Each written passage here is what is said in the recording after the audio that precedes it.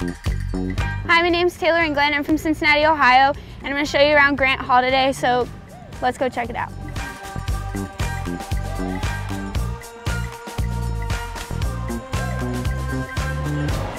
One of the really cool things here are these kiosks. You can order food and just pick it up inside.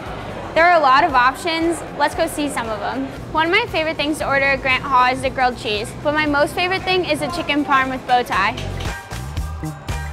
I also come here a lot for ice cream. There are a lot of options. Good day, ice cream.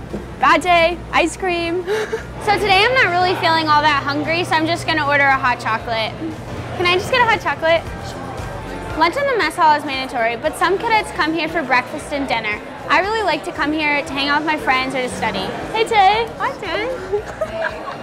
Pass the fee? Yeah, did you pass the fee? I passed the fee too, yay! I texted Madison and she passed the fee as well. So. so that's just a quick look at Grant Hall, but you should come see it yourself. Maybe I'll see you here.